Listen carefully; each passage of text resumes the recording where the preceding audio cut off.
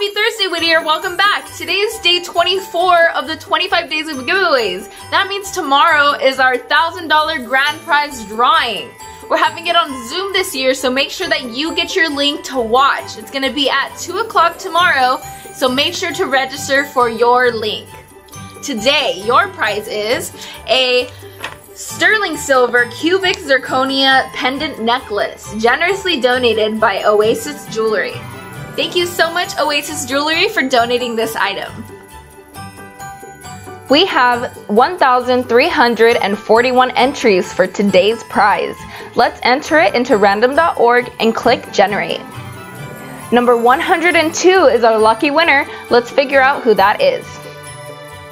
Congratulations, Jackie Portillo. You won a sterling silver cubic zirconia pendant necklace for shopping at Arco. Thanks for watching. Be sure to check us out tomorrow for day 25 prize and the $1,000 grand prize drawing. We'll see you tomorrow.